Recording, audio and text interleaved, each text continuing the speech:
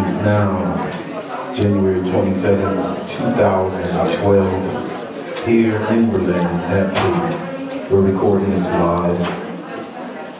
This is the last time that we're going to do a label night party here, and it's going to be a mess. Yes, it is. So I want to thank, first I want to say thank you to the tape staff for the last four years really, for being an elite, an elite crew, very friendly. They know how to keep the drinks moving, and they know good music. Bravo, thank you. I want to thank Uli, Yoni, and Tom.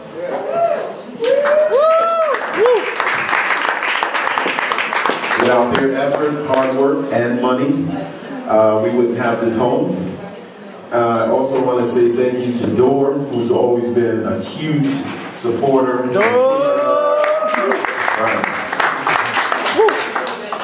to say thank you to my sweetie pie who's taken now, Patrice, Patrick.